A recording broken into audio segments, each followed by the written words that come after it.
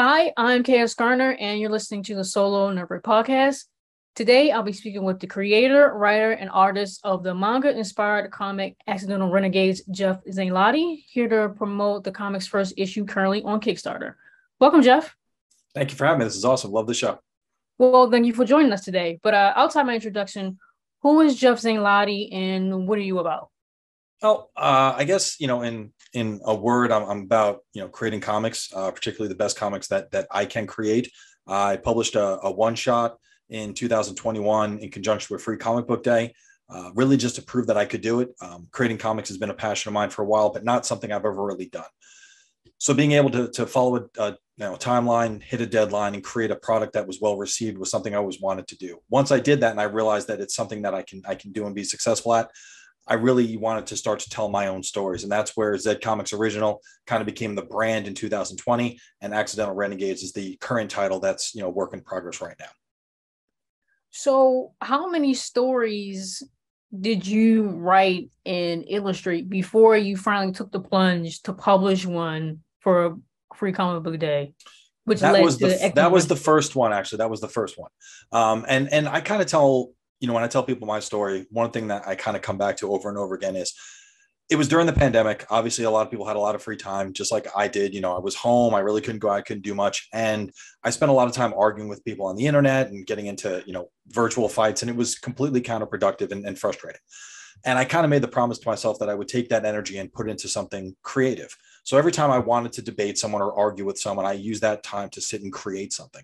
Um, as I started to do that, I kind of had the epiphany that at the end of the year, I'm going to be a year older. I'm either going to be a year older having created a comic book, or I'm going to be a year older with making more excuses why I haven't done it. And as cliche as it sounds, I, I you know, once you start to do the work, it becomes a lot easier to do. I started, I started creating projects, I started creating a timeline, I started following it. And at the end of it, I had a 22 page one shot comic book that I was able to get into about five local comic book stores in time for free comic book day and just seeing my own work on the shelves even if it was you know in conjunction with a giveaway it's still inspirational enough that i wanted to continue doing it. So launched my first kickstarter it's in progress now and you know it's pretty much been a, a very educational ride but a really enjoyable one at the same time. Uh-huh.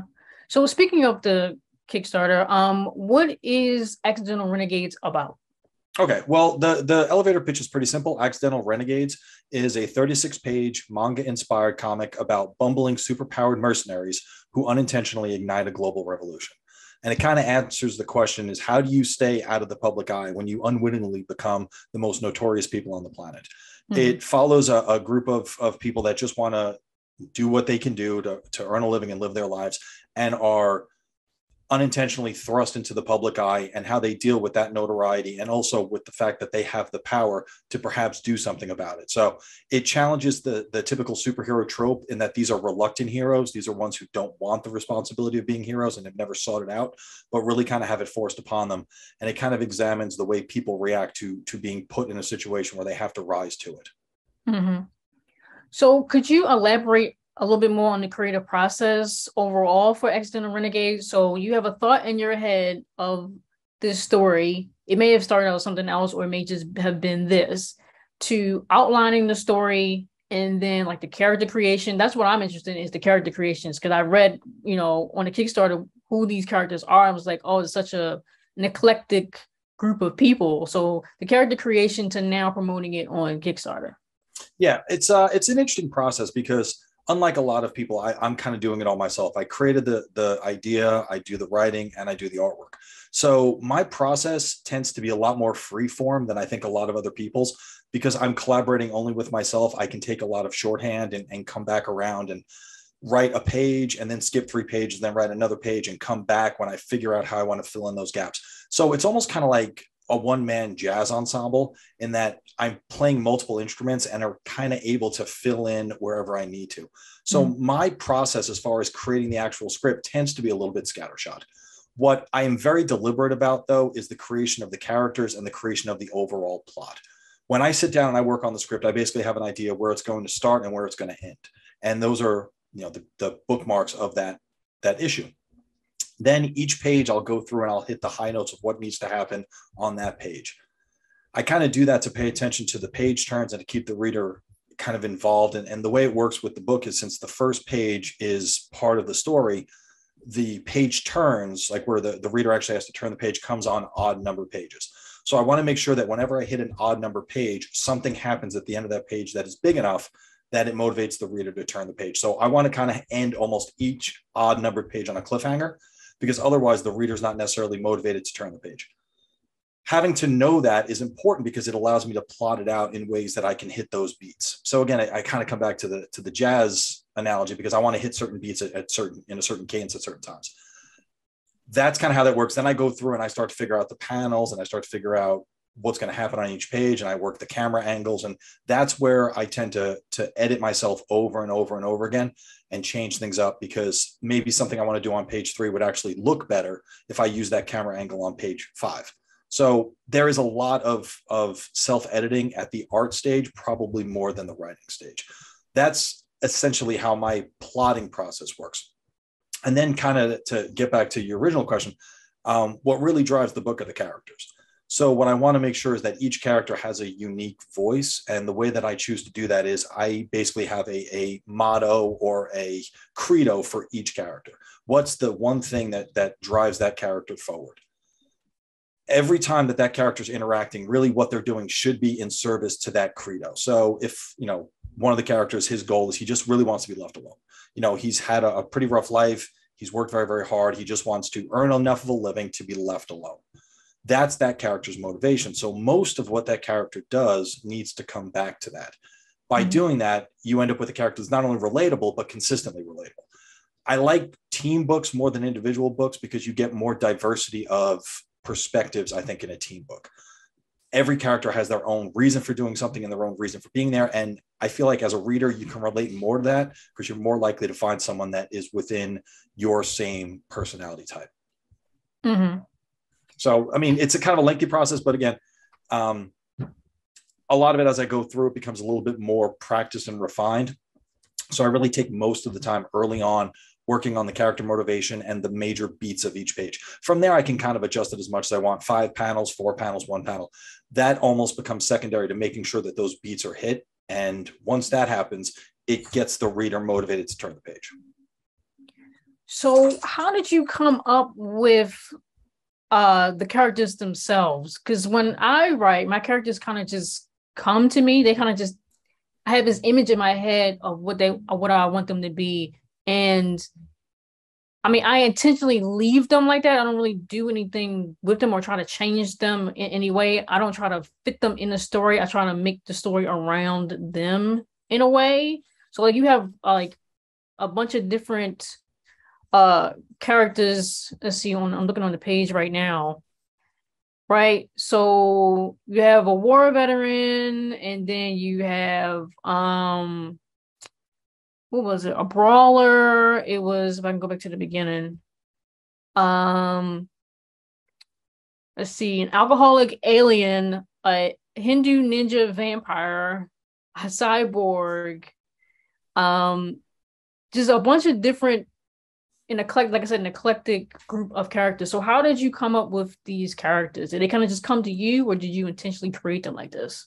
I think it's a little bit of both. I would tell you that behind the scenes, the, these characters have gone through so many different iterations. I'm sure you can relate to the way the character ends up is almost never the way the character starts out.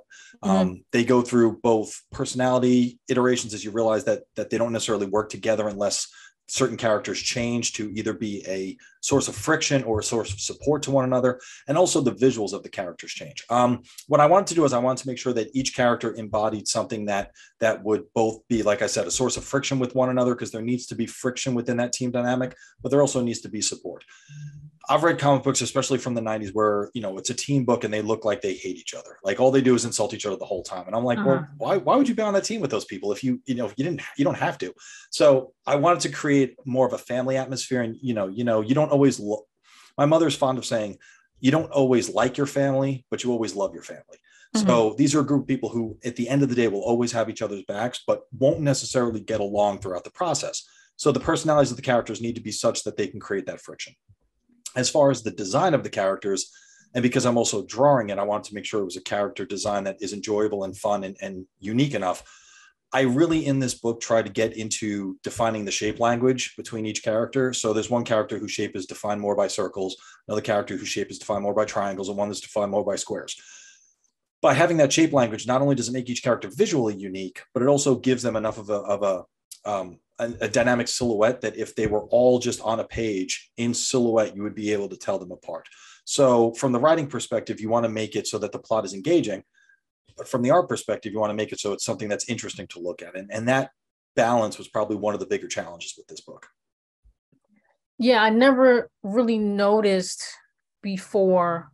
Um, I mean, I would when I'm reading the comics, but I don't think a lot of people realize how much the characters all kind of like look similar. They look a little too similar, and you can't yeah. really tell who is who, even though you know they all have different names and different backgrounds. But it's like they all are slim. They're all uh, right. muscular. They're all tall, and it's like who's who in this on this page. You yeah, know, other yeah. than you can't really tell other than their name when their when their name is spoken. You can't really tell who is who. So right, I, visually you can easily tell who is who as far as like um I guess when the first time you see uh read their name all you know is this person or you can identify something with them and again like you said the shape in their silhouette um, you can definitely tell who it is.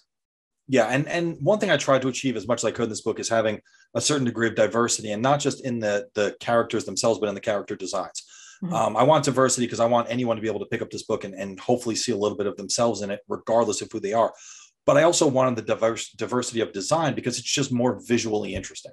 Like mm-hmm. you said, if you know every single woman has an hourglass figure and every single man is you know huge and muscular, that's great if that's what you want but it doesn't necessarily help those characters stand out visually in any way other than their hair color or you know the whether or not they have a cape for example mm. and to me those books are fine there's nothing wrong and i'm not i'm not you know trying to you know take a dump on any of those books they're they're awesome for what they are but it just isn't what i was trying to do with this uh-huh. So let's go a little bit back to um you pretty much doing everything in in this comic. So did you ever was it always the plan to do it yourself or did you ever contemplate bringing on other collaborators? Did that ever happen or you just went straight to just doing it on your own? Um as far as collaborators i'm not i don't know that i would necessarily want to do that yet. I definitely want to tell my own stories my own way. Um mm-hmm. if i could find you know for example if i would collaborate with anyone i would collaborate on the art side and i would would write it i would be you know interested in looking into that if i can find an artist that i think can take it to the next level um, I would also like to collaborate with a colorist because that's something as a manga inspired book, it's going to you know be black and white with some very basic colors. Um, coloring is something that is not necessarily my strength and it's very time consuming. So in order to have a Kickstarter that can get out on time, I chose to do it largely in black and white. I would be interested in seeing how these pages would look with color on them. Um, but as far as collaborating, I'm not at all against the idea. I think it's difficult because these stories are personal at this point. I'm not sure how comfortable I am with just letting someone, you know, kind of play in that toy box just yet. Um, not because I think I can do it better, but just because there is a certain degree of of myself in these characters. I think. Um, so I feel like almost I'm not ready, if that makes any sense, to let them go to someone else. Yeah, yeah, it makes total sense because it's so personal to you and kind of just handing it over to someone else in whatever aspect it may be, whether they're even just editing it or um, they're uh, illustrating your panels for you. Like you have to still give them a script and they'll illustrate it for you. And it's like, oh, well, that doesn't really make sense. So, yeah, you not being ready to, I guess, I wouldn't say not ready to compromise, but not really to not ready to i guess make any changes to it as of yet. I mean eventually you will but right now this is a story that you want to kind of just get out right. there yeah. and uh, yeah i totally understand that. Yeah and i mean i i do i do know from the outside looking in it it does appear to be a little bit of maybe you know ego or stubbornness and i don't necessarily think it's that because the truth is i would love to see what other people could do with these characters. I mean it, you know there are artists i admire that i would be honored to see what they could do with something that I may have dreamt up. That would be the dream. I'm just not sure I'm there yet, you know? Yeah. So I, I know I'll get there and I would be looking forward to that opportunity. It's just not going to happen with the first few books, I don't think. Yeah, that makes sense. So switching gears a little bit from um artists to uh I guess you'd say owner or founder. So how did you develop Zed Comics? Did you always want to have a your own like brand or publishing uh brand or was it something you thought of doing after writing and creating for such a long time? Um, it kind of came out as an idea, more or less. I don't want to say on a whim, but it wasn't mm-hmm. something I had been planning out for a long time. Um, and it basically came from I wanted to create comics, but I wasn't sure if I wanted to create comics under my name or under a, for lack of a better word, a brand. Uh-huh. And what I kind of decided is we'll come up with a brand because then the brand isn't married to just one person. So, you know, if this does become something that's more than just the Accidental Renegades or, or anything like that, it's not, you know, Jeff Zanelotti, it's Zed Comics original. It's it's more of a title. Um, there was already a Zed Comics on one of the social media, so I threw the original at the end. So I, you know, that came from a, a an anime that we used to watch. So I just made it Zed Comics original or, or ZCO and kind of just branded it from there. So it's certainly not, you know, it's not like an image or you know a top cow or anything like that. It's it's not a brand in that respect but it's a brand in the fact that it's something that is not necessarily tied to me because I didn't know if I wanted to be like, oh, well, this is a Jeff Zanelotti comic or is it a Zed Comics original comic? Uh, by putting the brand on, I feel like it makes it more of something that anyone can relate to. You know, mm-hmm. that's that's that's Zed Comics. It's not that person. It's that that group, and you know, making you feel more of like a, a fraternity, more of like a family atmosphere. Uh huh. Exactly. So, what advice would you or could you offer to other artists that you wish someone would have told you when you first started? Either it can be the, when you first started the Kickstarter, or it can be even when you first started, um, just even just creating in general, even when you did your one shot. Well, there, there's two things, I'll, and I'll answer it, I guess, in two parts. The first is from the, the mm-hmm. creative aspect, and I know it's cliche, and I don't want to sound like one of those people, but just just start doing it it's never going to be as good as you want. You know, you're always going to look and always want to do something differently. But if you wait until you're ready, you're never going to be ready because there's always going to be something that that keeps you from moving forward if you're always holding yourself back. I wish I'd learned that lesson years ago. I mean, I'm super excited. I created a comic book. It was in bookstores, you know, or in comic book stores in 2021. But why didn't I do that in 2020 or 2019 or 2018? It could have been done at any point. Um, it just happened when it happened because I finally just sat down and started doing the work. And I'll be honest with you, there's a couple pages in that book because I had to hit deadline that I don't like to look at because I don't think it's my best work. But I had to get it to the printer in time in order to get it back to get it in the stores by free comic book day. Mm-hmm. And that's okay because I think if you talk to anyone, they're always going to say, I wish I had a little bit more time, but I had a deadline and I'll fix it. I'll do it better in the next book. So that's kind of what drives me forward. From a creative aspect, I would say don't wait. It's not going to do you any good to hold on. Just start doing the work now. The other side, and something that I wished I'd done a little bit earlier, was as you know, the, the indie comics community is, is a great community. There's lots of people there who want to help, who want to offer advice, who want to be there to support you. And I wish I had entered that tribe, for lack of a better word, a little bit sooner. I have made a lot of great friends. I made a lot of great connections, and I've learned a tremendous amount in a relatively short time of being a part of those communities had I joined sooner, I might have been able to probably make some progress quicker. There's a wealth of information out there. And I was surprised at how many people are willing, not just not just okay with, but but willing to reach out to help you. Mm-hmm. They're knowledgeable, they're professional, they're they're you know tops in, in the indie comics field. They're putting out some amazing inspirational work and they're good people. So that's not something you can say about a lot of industries, but it's definitely something you could say about the indie comics one. There are there's a side of it that you know is not useful is not necessarily my speed but there's another side of people that are great and they're open and they're they're willing to hear about diverse opinions and willing to engage you on great ideas and those people are, are worth their weight in gold. Yeah yeah. Yeah what i've learned is you'll never have enough money and you'll never have enough time. Yeah. And i've learned to um I guess in order to part of the collaboration process is being a resource to other people in order for them to be a resource to you as well, if that kind of makes sense. Mm-hmm. Um, but in order for that to happen, you kind of have to have some type of experience. So even if you know you put this work out and you really didn't like it, you still have the experience. You have more of it than you did before you even started. You right. know, so yeah, just like I said, you you never have enough money and you'll never have enough time so just go ahead and get started and like you said before you know you'll be one year older a year from now regardless mm-hmm. but throughout this whole process do you or did you ever get overwhelmed? Um, does it ever become too much? You know, I, I read on your website that you're a family man and then, you know, friends and you know your your job if you have one outside of creating comics and just even trying to have some alone time even just to be with yourself so when it does become too much how do you typically manage your mental well-being well i find one of the challenges for me um, is, is, just that is finding enough time to do everything um, I, you know, I, I tend to lead a, a, you know, a personality wise, I tend to be a little regimented. I, I like schedules. I like, you know, having some sort of organization. So I'll oftentimes build schedules and, you know, I need to get this done by a certain day. And that kind of helps keep me on track and also allows me to have some free time. Uh, this is something I do as a, a, labor of love. I'm actually a high school teacher, so I do have a nine to five. The good news is that gives me the summers with a little bit more free time to get some work done but the summers are also you know when you do vacations you hang out with family and you have to do all those those chores that you you put off all year so finding the the time is always the hardest part as far as you know mental well-being a lot of times i will kind of zone out while i'm working. Um, i used to listen to music a lot. Now i still do but i also listen mostly to podcasts or, or watch youtube videos that are having in the background because just listening to people talk about the craft sometimes helps me solve problems and in the act of solving problems it helps bring a little bit relief because the thing that was stressing me out before i now have a way to kind of go around to fix it. So so that's definitely been helpful for for keeping mental well-being in check. Um, exercise sleep diet you know those things that artists never get to do.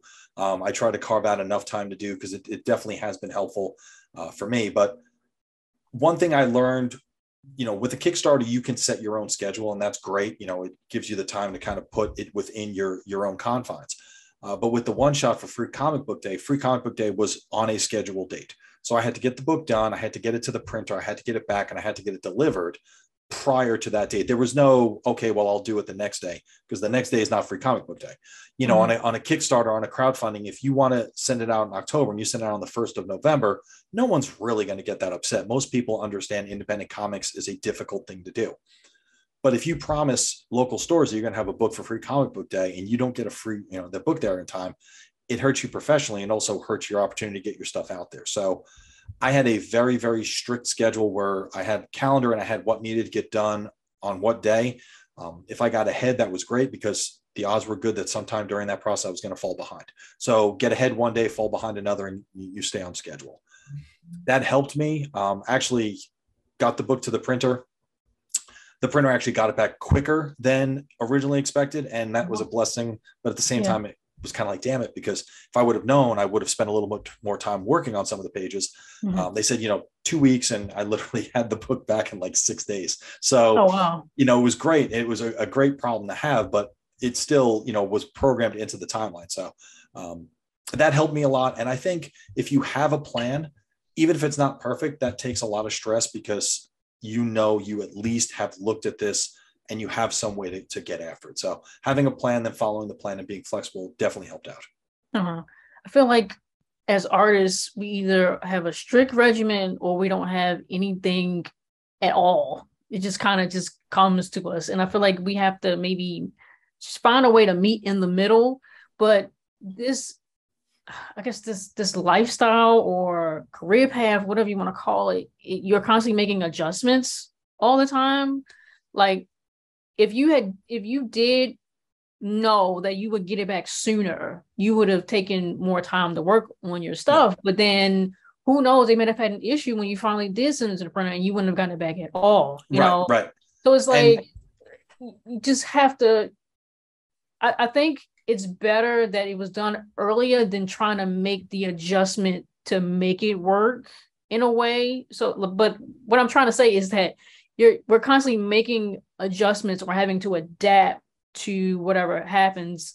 And that's why having a, like a, an outline or um i guess a list of things that need to be done like maybe within like a week but giving allowing yourself the grace of like free time and making mistakes and just kind of like going going with the flow you need that as well so we kind of just have to find a way to meet in the middle that i think that's where i am right now because i did have a list of stuff but then I was getting it done too quickly, and then I didn't have anything at all. But then I had a bunch of stuff I had to do, so it was like trying to find a way to meet in the middle in a way. Yeah. And yeah. I think you make a really good point because even if in that in that case I knew that I had let's just say an extra 10 days. I'm not sure I would have necessarily done more work. I would have done the same amount of work just spread out a little bit more. So you, you make a very good point there is it's easy to look back in hindsight and say, oh, if I knew I had those extra days, I would have done things differently. But I'm not 100% sure I would have because it just would have made the schedule spread out a little bit more. Arguably, an extra day would probably mean that the work would be a little bit more refined, but that's not to say it would be perfect. And I think every artist, you know, I'm sure you can relate, you know, when they hit a deadline, it's like, oh, I really wish I had a little bit more time to do that.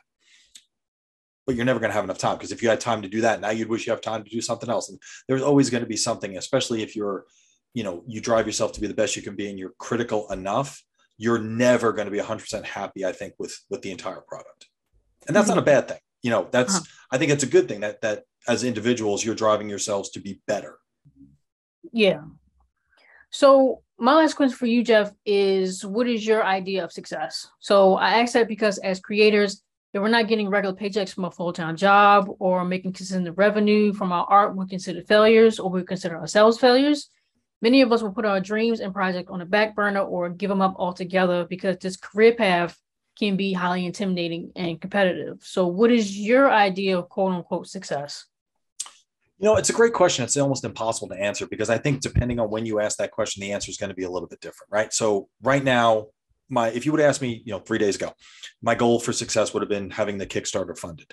Um, the Kickstarter for Accidental Renegades actually hit its funding goal yesterday, and now it's at about 125% funded. So that goal's met. So if that was my measure of success, and at that time it was, now that that measurement is, is unnecessary. So I guess my next measurement is to get the book done.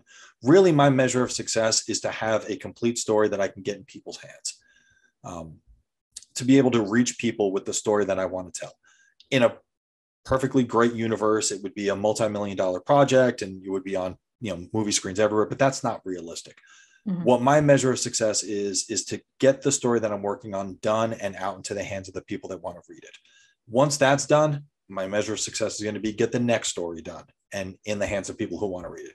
So I think by constantly having a measure of success that is a moving target, you know, you're never satisfied. You don't ever get complacent, but you're always making forward progress. So right now, my measure of success is to get the book done and in the hands of people who want to read it. Once that's done, my measure of success is to get the next book done and in the hands of the people who want to read it. Uh-huh.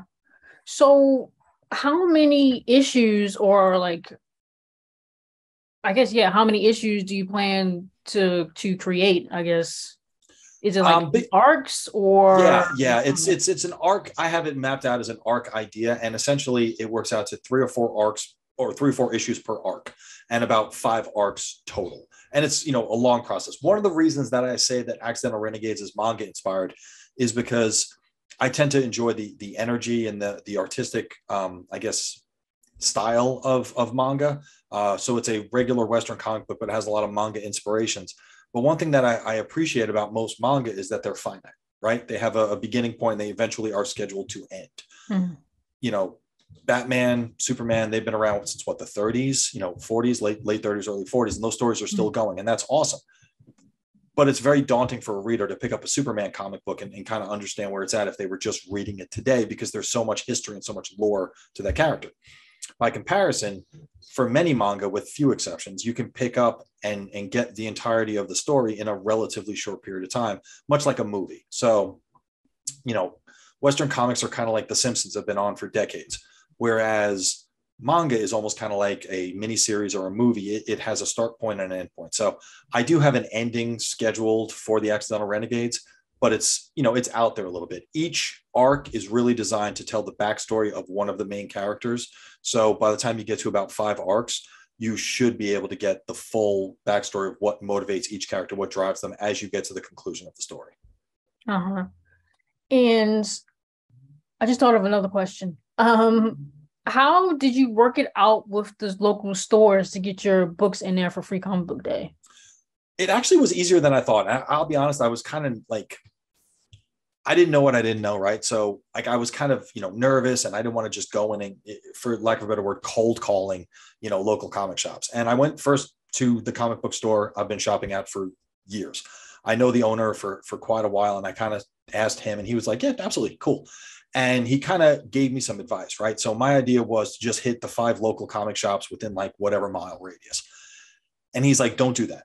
Because and this was coming from him as a, a, long you know 20 plus year comic book shop owner. He understands the industry. He goes because what people do and i never really understood this is they hit up all the local stores. So a guy will go to this store then he'll go two miles down to a next town over hit the next store. Then he'll go to 10 miles away and hit that store. So you're hitting up all the stores and you're getting the maximum bang for free comic book day he says if you put your books in all the local stores, it's going to be the same people basically seeing it. What mm-hmm. you need to do is you need to spread out, right? And I live on Long Island, so it's you know like the name implies, on Long Island. So I hit you know one on the South Shore, one on the North Shore, one on the East Shore, one on the West Shore, and I got uh, four or five stores total, kind of spread out within about 30 minutes of each other, so that it was a, a large enough area that different people would be seeing it. And every comic book store, there was one guy, he was he didn't see he was like yeah sure whatever. You know he didn't really sound like he was super duper into it but he didn't want to tell me he wasn't super duper into it but whatever. Everyone else though was great. One store was like hey if you want to come in and, and hang out and sign books that'd be great too.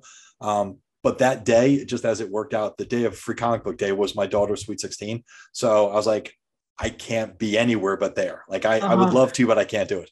So in the morning i ran around dropping off books. In the afternoon i was at the sweet 16 so you know i didn't didn't get a chance to really be there for it but you know got photos got video and, and, that was that was really cool. Every comic book store owner like i said was super receptive.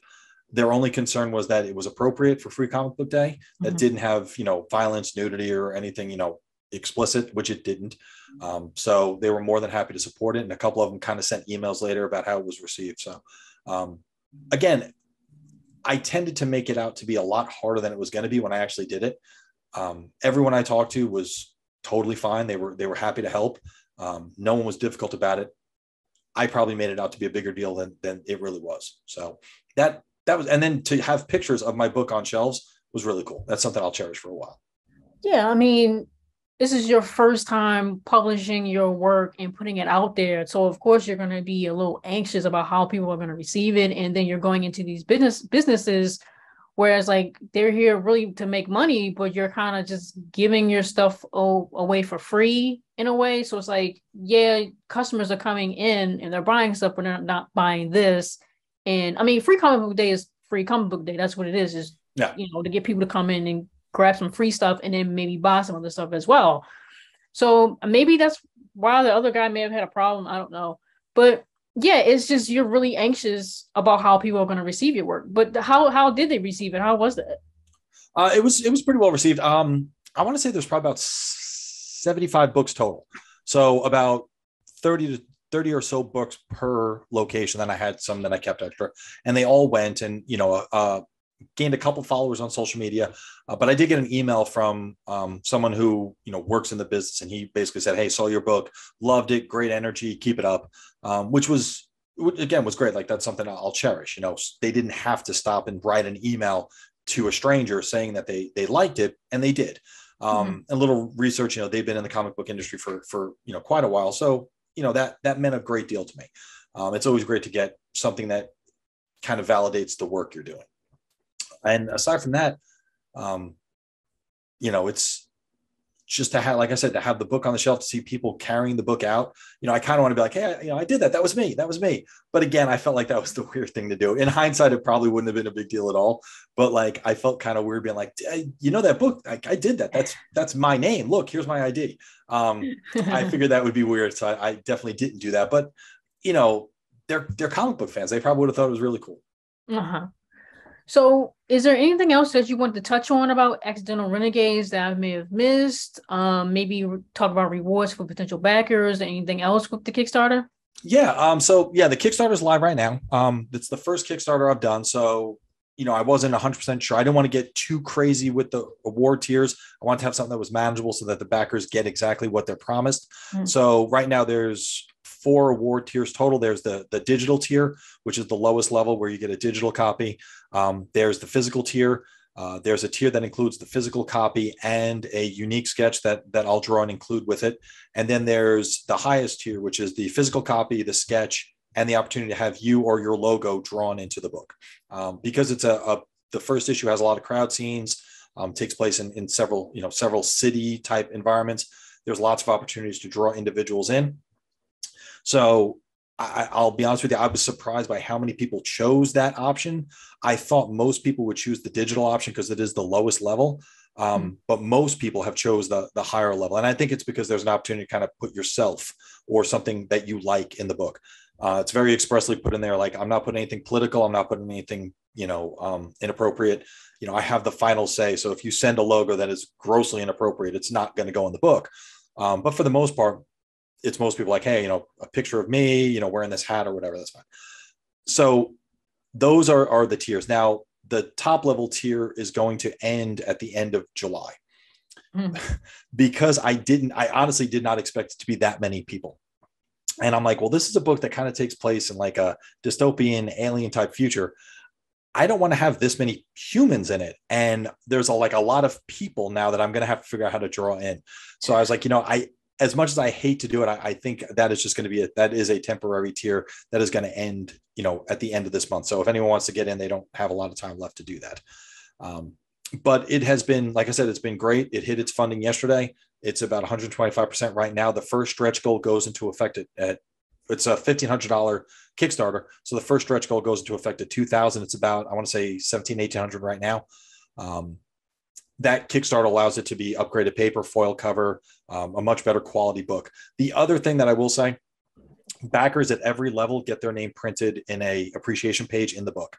Um, I've talked to some other people and they usually keep that at, you know, once you hit this certain level, that's where it goes. But the way I look at it is if you're going to give me your money, you know, I appreciate that. And whether you give it to me at the lowest level or the highest level, you know, as far as I'm concerned, you're supporting the product and your name is going to go in the book. So regardless of what level anyone goes in, their name's in the appreciation page. So um, I've backed about 30 something books on Kickstarter, a couple others on Indiegogo and Crowdfunder. Um, I've supported what I could. You can't always support the top level, but that doesn't mean that you don't really care about the book. And I appreciate everyone who's giving me their money. So no matter what level they they back it, they're getting their name in it because that's my way to thank them for for supporting it. Yeah. So the top tier to be in the book, can it be can it be or like do they have to be human or maybe putting their logo on there because maybe they can be a different character or yeah, a different species but like a logo on a hat or on a t-shirt right, or something like right. that yeah and and so there's the opportunity to do it on logos on t-shirts on hats um, there's the opportunity you know to do a alien type character modeled after someone um, and that's something that we're all going to have to get into once the Kickstarter closes. You know, I've had a couple people that are that are friends that I, I know, and they were like, "Hey, I backed this. You know, can you put you know, my dog, you know, with a machine gun, you know, wearing a helmet. I'm like, I'm like, yeah, absolutely. That would work great because it fits with the theme of the book, uh-huh. much more so than having, you know, a middle-aged white guy in a crowd of aliens, right? Yeah. So like I would prefer to do those because number one, I think it fits the theme, and also it's probably a little bit more fun to draw. Um, but yeah, as far as the, the, the logos or the the images, you know that's something that's definitely open to interpretation with what the individual wants to do. There might be some back and forth if someone wants something that just doesn't fit you know with the theme of of you know an alien world you know i don't think that'll be an issue but there's a lot of flexibility because it is a lot of crowds a lot of city you know there's a lot of ways to put a lot of people in the crowd. So i think it's it's definitely doable. Uh-huh so, do you plan on doing any cons or anything local in your area that people can come and see your work and maybe get something signed? If even Absolutely. they do yeah. have um the free comic, book? like, did you sign any of those free comics or? No, you- actually, I didn't. I didn't sign any of them. Um, but you know, I can definitely do another print run of that book. Um, I, I'm I'm looking to table at local cons. Um, I'm looking to table at some larger cons once I have a, a, you know a few more things. But I want to be able to have right now I have a book, right? So I want to be able to have more than that book. If I can table with two books and some prints and some stickers, that I think is is pretty much where I want to start as a limit. I don't want to table with anything less than two books because I think it's very hard to get people to stop when you only have like one thing to offer them. I want to be able to have something that is a little bit more of options. Um, I've been you know, as a guest to, to several cons. And unless that one book is just blowing my mind, that one book probably isn't going to get my attention as much as a table where I can stop and I can look at a couple different things. So mm-hmm. I want to be able to give people who are stopping at the table. And then with more than one book, you can offer deals, right? Like, you know, this book is $10, this book is $7, but if you buy both, it's $15. So, like, there are ways that you can give more to the customer if you actually have more to offer them. So, uh, once this book's done, um, looking to, to start tabling it at cons and try to get the word out there as well. Okay, cool. So, again, I want to thank the creator, writer, and artist of the manga inspired comic Accidental Renegades, Jeff Zanelotti, for joining us here today to promote the comic's first issue currently on Kickstarter. I highly recommend our listeners to give Jeff's Kickstarter a look, share, and back if they can. All of Z Comics socials and website will be listed in this episode's details alongside the Kickstarter link for those who are interested. Again, I am KS Garner, and you have been listening to the Solo Nerd Bird podcast. Thank you. Bye, everybody.